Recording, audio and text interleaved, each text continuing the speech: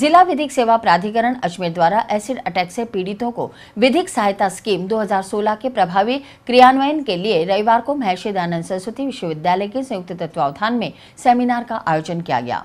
Seminar में न्यायिक, प्रशासनिक, पुलिस और चिकित्सा अधिकारियों के साथ स्वयं सहायता समूह, पैनल अधिवक्ता, पैरालीगल वॉलेंटियर्स शामिल हुए।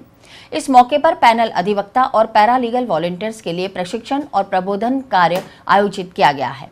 ताकि उन्हें एसिड हमलों के मामलों पर कार्रवाई करने के तरीकों की जानकारी दी जा सके और उनकी क्षमता, ज्ञान और कौशल में वृद्धि की जा सके। सेमिनार की अध्यक्षता जिला विधिक सेवा प्राधिकरण के अध्यक्ष और जिला जज विष्णुदत्त शर्मा ने की। वहीं मुख्य अतिथि महर्षि दयानंद सरस्वती विश्वविद्यालय के कुलपति प्रोफेसर कैलाश सोढ़ानी ने दीप प्रज्वलित कर सेमिनार का शुभारंभ करते हुए जिला विधिक सेवा प्राधिकरण द्वारा जारी एसिड अटैक बुकलेट का विमोचन किया।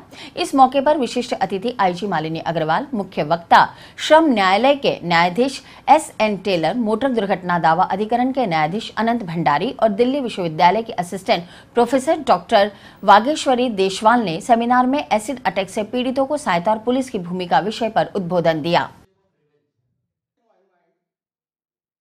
एसिड अटैक के पीड़ितों के लिए नालसा ने योजना 2016 में तैयार की और राष्ट्रीय प्राधिकरण, यानी नई दिल्ली से मान्य सर्वोच्च न्यायालय के निर्देशानुसार एसिड अटैक के हमलों के पीड़ितों के लिए ये योजना जो की गई है, उस पर कार्यशाला आज यहाँ आयोजित की गई। ये कार्यशाला ये एम यूनिवर्सिटी और हमारे जिला विधिक सेवा प्राधिकरण अजमेर की ओर से संयुक्त तत्वाधान में की जा रही है। इस कार्यशाला में दिल्ली से भी हमने वक्ता बुलाए हैं। हमारे जजेज लेबर जज साहब एमएससीटी के जज साहब अनित भंडारी जी, हमारे पुलिस अफसरान, हमारे जुडिशल अफसरान पैरालीगल वॉल्टियर्स पैनल एडवोकेट्स और कई तरीके के एन के काम करने वाले वक्ताओं को हमने बुलाया है और इस पर चर्चा की जाएगी। एसिड अटैक के जो पीड़ित होते हैं, उनके पुनर्वास की, उनके उपचार की, उनके राहत देने की योजनाओं के बारे में यहाँ पर चर्चा होगी। उनको किस तरीके से बचाव के लिए किया जा सकता है, इस बारे में लोगों को जागरूक किया जाएगा।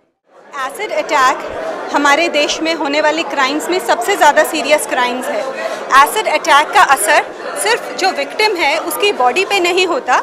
इसके physical effects economic effects psychological effects multiple dimension में ये एक विक्टिम को अफेक्ट करता है। विक्टिम का मैरिज प्रॉस्पेक्ट ख़राब हो जाता है, जैसे कि देखा जाए नॉर्मली एसिड के जो विक्टिम्स हैं वो महिलाएँ हैं। मैरिज प्रॉस्पेक्ट्स ख़राब हो जाते हैं एम्प्लॉयमेंट प्रॉस्पेक्ट्स नीचे आ जाते हैं, ऐसे लोगों को हायर करना बहुत मुश्किल है।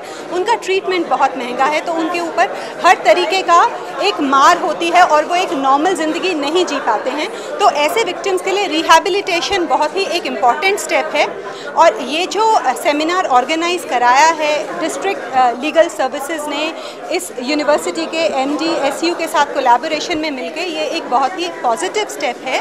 बिकॉज़ इससे क्या है कि एक अवेयरनेस फैलाई जाएगी। कानून की कमी नहीं है।